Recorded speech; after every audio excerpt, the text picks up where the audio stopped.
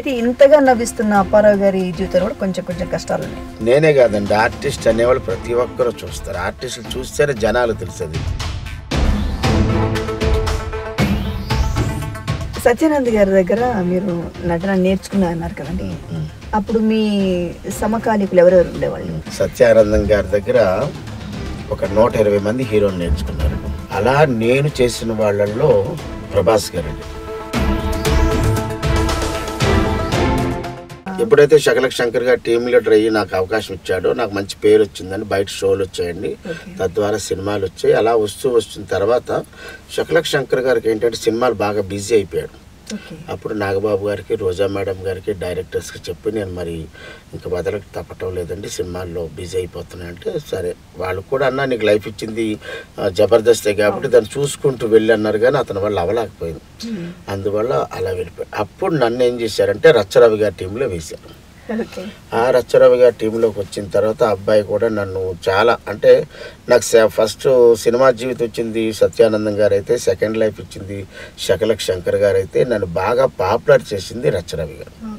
అంటే విఏడిఐఎన్ఏ వదినా అనే డైలాగ్ కానీ బిఏ బిఏ బావా అనే డైలాగ్ కానీ what are you talking give him a big round of applause అనేది కానీ రచ్చరవి ఆడియన్స్ని జడ్జెస్ని లాక్ చేసే విధానం ఓకే తర్వాత అతను కూడా ఈ మధ్య మానేసిన తర్వాత అతనికి సినిమాలు బిజీగా ఉండి వేరే కారణాల వల్ల మానేసిన తర్వాత నన్ను పంచప్రసాద్ అండ్ నాటి నరేష్ అని ఒక టీం ఉంటుంది.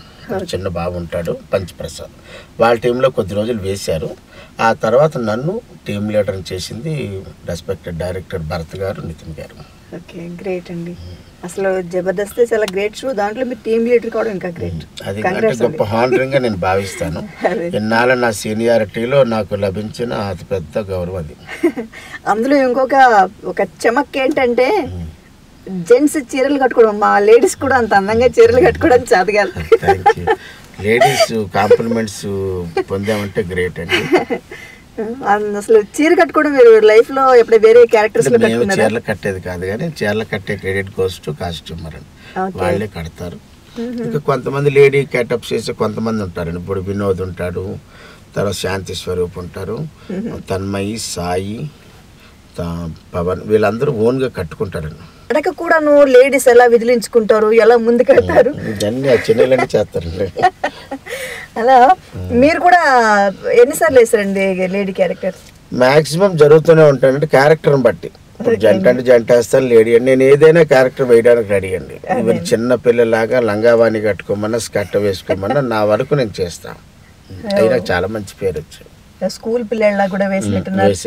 అది స్కూల్ పిల్ల పిల్లలాగా అమ్మాయిలాగా నర్సింగ్ యాదవ్ గారు సీనియర్ మోస్ట్ యాక్టర్. అతను అతను గెస్ట్గా పిలిచారు ఒక సెలబ్రిటీగా పిలిచినప్పుడు అతను ఒక రౌడీగా ఉంటారు ఆయన దగ్గర కూతురు నేను. నాకు రచ్చరవి కావాలి కావాలి తీసుకొని వస్తాడనమాట అతను కూడా చాలా అంత పెద్ద అయినా అంత పేరున్న నర్సింగ్ యాదవ్ గారు కూడా ఒక చిన్న పిల్లాడిలాగే నాన్న నువ్వేం చెప్తావు చేయ చేస్తాను. అంత గొప్పవాడు అండి అతను. అతనికి నేను కూతురుగా చేయడం మరింత అతని మీద అభిమానం నాకు ఇంకా ఎక్కువ పెరిగింది.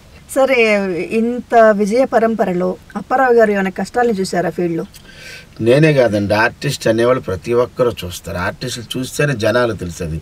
ఒక కామన్ మ్యాన్ చూసినట్లయితే ఆ కష్టాలు మనకు తెలియవు. ఒక సెలబ్రిటీ హోదా వచ్చిన వాళ్ళకి ఒక సినిమా ప్రపంచంలో ఉన్న వాళ్ళకి మాత్రమే జనాలకి తెలిసిపోతుంటాయి. కష్టాలు కమెడియన్కే కష్టాలు ఎక్కువ వస్తాయి మరి అదేంటో. నవ్వించే వాళ్ళకే ఎక్కువ కష్టాలు వస్తాయి అని నేనేం అనగాని బట్ నా జీవితంలో కూడా ఇలా తొంగి చూసాయి అయితే ఇంతగా నవ్విస్తున్న అప్పారావు గారి జీవితంలో కూడా కొంచెం కొంచెం కష్టాలు ఉన్నాయి అంటే అవన్నీ మానసికమైన కష్టాలండి. ఆర్థికపరమైన కష్టాలతో పాటు మానసికమైన కష్టాలు ఉన్నాయి ఎందుకంటే నేను రావడం రావడమే చెప్పాను కదా సత్యానందం గారి ద్వారా వచ్చానని ఇక్కడికి వచ్చాను ఉన్నాను చేశానండి. చేశాను కానీ నెలకు పదివేల రూపాయలు కూడా సంపాదించలేనటువంటి పరిస్థితి. ఆహా. సంపాదించిన ఇంటికి పంపించలేని పరిస్థితి. ఇక్కడున్న నా ఖర్చులు అవి ఇవి ఉంటాయి. అయితే అక్కడ ఏంటంటే మా తల్లిదండ్రులు ఇచ్చినటువంటి ఒక ఇల్లు ఉంది. అంతకు మించి ఏం లేదు. నాకు ఇద్దరు చిన్న పిల్లలు అప్పుడు. నేను వచ్చేటప్పుడు. మా ఆవిడ హోమ్ హౌస్ వైఫ్. ఏదో అలా చేస్తూ చేస్తూ ఉన్నాం. ఇక్కడ ఇంకొక విషయం చెప్పాలి. సత్యానందం గారి గురించి శకల శంకర్ గారి గురించి నా పాపులారిటీకి ఉపయోగపడిన రచ్చరవి గారి గురించి చెప్పినప్పుడు బొమ్మలాటి సారిక గారి గురించి కూడా చెప్పాలి. ఎందుకంటే నేను రెండు వేల రెండు నుంచి రెండు వేల ఆరు వరకు వాళ్ళతోనే ట్రావెల్ అయ్యానని చెప్పాలి.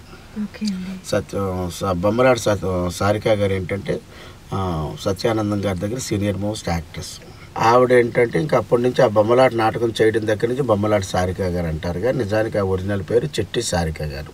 ఆవిడ వాళ్ళ చెల్లెలు ఇద్దరు ఉండేవారు. వాళ్ళు ఏమనుకున్నారంటే అప్పారావు గారు మీరు మేము ఒకే గురువు గారి దగ్గర కదా మాకు తోడుగా మీకు అండగా మేము ఉంటాం. ఇది కాన్సెప్ట్. అంటే డబ్బులు ఇస్తానని కానీ అడగడం కానీ ఏమీ లేదండి.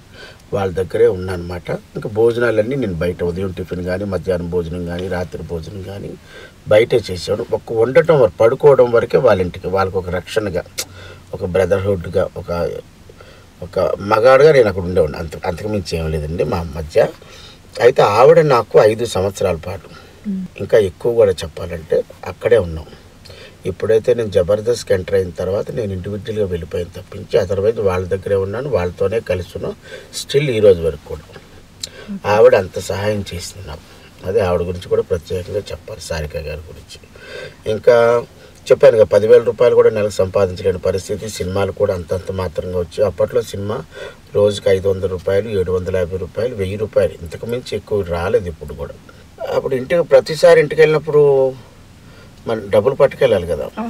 ఆ తర్వాత కొన్నాళ్ళకి మన నా బాధలు కరుణించి ఆ భగవంతుడు మా ఆవిడని టీచర్ని చేశాడు. మా ఆవిడ చదువుకున్న చాలా తక్కువ టెన్త్ క్లాస్ ఆ రేంజ్లో చదువుకొని మా ఇంటి దగ్గర ఒక ప్రైవేట్ స్కూల్ ఉంటే దేవి లావణ్య ఆ స్కూల్ ప్రిన్సిపాల్ గారు అక్కడ అవకాశం ఇస్తే అక్కడ టీచర్గా జాయిన్ అయ్యి ఆ స్కూల్కి చాలామంది పిల్లల్ని జాయిన్ చేయడంలో కీలక పాత్ర వహించి మా ఆవిడ చాలామంది పిల్లల్ని జాయిన్ చేయటం ఉదయం నుంచి సాయంత్రం వరకు స్కూలు. మళ్ళీ ఇంటికి వచ్చి ఫ్రెష్ అయ్యి ఆరు నుంచి మళ్ళీ రాత్రి ఎనిమిదిన్నర తొమ్మిది వరకు ప్రైవేట్. అలా చేయటం వల్ల ఇంటి దగ్గర ఏంటంటే ఇక తినటానికి ఇబ్బంది లేనటువంటి పరిస్థితి ఉండేది. అంతకుముందు నేను పంపించాలి కదా. పంపించకపోతే ఎక్కడ అవుతుంది అయినప్పటికీ నేనేవో ప్రోగ్రాములు చేసి డబ్బులు ఎంత ఇచ్చినా సరే ఇల్లు గడవడానికి ఉండాల్సినంత అమౌంట్ లేదు అప్పట్లో. అలా ఉంటే మావిడ ఎప్పుడైతే టీచర్ అయిందో ఈవినింగ్ ట్యూషన్ చెప్పుకుందో తర్వాత అదే స్కూల్లో వైస్ ప్రిన్సిపాల్గా కూడా ఉండి మావిడ అంత చేస్తే ఆ తర్వాత కొద్దిగా బాగుంది. పర్వాలేదు లక్ష్మి ఇప్పుడు నేను ఒక రూపాయి నీకు ఇవ్వకపోయినా నువ్వు నీ అంతటి నువ్వు సంపాదించే పరిస్థితికి వచ్చావు. బట్ ఈరోజు కాకపోయినా రేపైనా ఒక రోజు మనకంటూ ఒక అవకాశం వస్తుందని అంత మోటివేట్ చేసినప్పుడు మావిడ కొద్దిగా కూలై అలా అలా చేసిన తర్వాత ఎప్పుడైతే మా అబ్బాయిల పిల్లలు పెద్దవాళ్ళు అయ్యారో ఇంకా అప్పటికి అలా ఉన్నప్పుడు ఇక రెండు వేల పద్నాలుగులో డిసైడ్ చేసుకున్నా ఇంకా లక్ష్మికి లాభం లేదు నేను వైజాగ్ వచ్చేస్తా. వైజాగ్ వచ్చేసి జాబ్ అయితే చేయను ఎందుకంటే నేను జాబ్ ఇరవై ఏళ్ళు ఉద్యోగం చేశాను అందువల్ల జాబ్ చేయను ఆర్టిస్ట్గానే ఫుల్ ఫ్లెడ్జ్డ్గా ఉంటాను నీకు ఇబ్బంది ఏమీ లేదు అని ఒక భరోసా ఇచ్చిన తర్వాత ఇందాక చెప్పినటువంటి కథ శకలక్ శంకర్ గారి దగ్గర రావడం ఫైనాన్షియల్గా హెల్ప్ అవ్వడం ఆ బయట షోలు రావడం ఇప్పుడు నెలకి ఏదైనా కొద్ది మంచి అమౌంట్ పంపించేటటువంటి అవకాశం. ఉంది ఈరోజు నేనుగా మా ఆవిడ కానీ మా అబ్బాయి కానీ మా పాప కానీ హ్యాపీగా ఉన్నారంటే because of the one and only reason Mallemala entertainment Shyambabu గారి ఆశీస్సులతో దీప్తి మేడం గారి ఆశీస్సుతో మా డైరెక్టర్స్ నితిన్ గారు భర్త గారు ఎంకరేజ్మెంట్తో రిమైనింగ్ ఆల్ టీమ్ లీడర్స్ ఎంకరేజ్మెంట్తో ఈరోజు అప్పారో ఒక మంచి పొజిషన్ ఉన్నాడు ఆర్థిక కష్టాలు అనేవి చాలా కుంగదీసాయండి అది క్యాన్సర్ కన్నా చాలా దారుణమైన. ప్రమాదకరమైంది. చాలా ఇది. చాలా భయంకరమైన నిర్ణయాలు తీసుకునేది కూడా ఆర్థిక కష్టాలే. కాబట్టి మా ఆవిడ అంటది ఎవరైనా మేము ఏదైనా ఫంక్షన్కి వెళ్తే నేను కానీ మా బాబు కానీ మా కో మా అల్లు అల్లుడు గారు కానీ మా పాప కానీ బయటికి వెళ్తే అందరూ ఏ జబర్దస్త్ అప్పారు గారు అల్లుడు గారు వచ్చారు పాప వచ్చింది వాళ్ళ ఆవిడ వచ్చారు వాళ్ళ అబ్బాయి వచ్చారంటే పిల్లలు పెద్దవాళ్ళు అండి? మా అబ్బాయి ఉద్యోగం అండి. ఎంసీ అయిపోయింది. జాబ్ చేస్తున్నాడు. ఈ ఏడాది ఎండింగ్లో కానీ నెక్స్ట్ ఇయర్ మేలో కల్లా పెళ్ళి. పాప మ్యారీడ్ పాప మ్యారేజ్ అయిపోయింది. అల్లుడు గారు పోలీస్ డిపార్ట్మెంట్. మంచి అబ్బాయి. వాళ్ళు గోపాలపట్నంలో ఉంటారు. కోట అనే గ్రామంలో ఉంటారు. మా అల్లుడు పోలీసు నాకు ఇద్దరు మనవాళ్ళు మనవాళ్ళు ఏ చదువుతున్నారు? మా- మూడో అబ్బాయి చదువుతారు చదువుతున్నారండి. మూడేళ్ళు. ఇప్పుడు రెండో బర్త్డే చేయబోతున్నాం రేపు. జూలై ఇరవై ఒకటో తారీఖున రెండో బర్త్డే. మీ మీరు ఎంతవరకు చదువుకున్నారు నేను చదువుకోవడం ఏంటంటే నేను నాలుగు వరకే చదువుకున్నానండి. ఓకే అండి. మాకు ఐదో క్లాస్లో శంకర్రావు మాస్టర్ గారు ఉండేవారు. ఆయన దగ్గర చదివింటే ఇంగ్లీష్ ఇంకా బాగుండేదేమో అనిపించింది ఓకే. నాలుగులో మానేసాను తర్వాత మా మేనమావ గారండి. నువ్వేం చదువుకోలేదురా నువ్వు చదువుకుంటే బాగుపడతావని మా మేనమావ గారు బీసెట్టి నరసింహమూర్తి గారు ఆయన దెబ్బలాడి మెట్రికులేషన్లో జాయిన్ చేశారు. ఉమ్. మెట్రికులేషన్ కూడా మొదటిసారి కొన్ని పాస్ అయ్యి రెండోసారి కొన్ని పాస్ అయ్యి మూడోసారి కొన్ని పాస్ అయ్యి అది పాస్ అయ్యాయి తర్వాత టైప్ లోవర్ పాస్ ఐదు పాస్ అది ఫస్ట్ టైం పోయింది సెకండ్ టైం. తర్వాత మళ్ళీ వేదుల శంకర్ భరద్వాజ్ గారు ఈయన లాయర్ గారు. నేను పనిచేసిన కంపెనీలో ఆయన క్యాషియర్. ఆయన అన్నాడు అప్పారో ఈ పియూసీ పుస్తకాలు తీసుకెళ్ళి నువ్వు చదువుకోమంటే అది కూడా మొదటిసారి కొన్ని రెండోసారి కొన్ని మూడోసారి అన్నీ పాస్ దాని తర్వాత డిగ్రీ ఫస్ట్ ఇయర్కి వెళ్ళాం. అన్నీ పాస్ అయ్యి ఇంగ్లీష్ పోయింది. తర్వాత నాకు ఉద్యోగంలో ప్రమోషన్ వచ్చి అవుట్డోర్కి వేశారు ఇంకెందుకో మానేశాం లేకపోతే నేను ఎంఏ చదవాలని నాకు కోరిక. ఓకే. అప్పట్లో నాకు తెలియదు కానీ ఎంఏ చదివితే బాగుంటుంది బాగుంటుంది అనుకున్నా. అలా అంతవరకు చదవగలిగాను.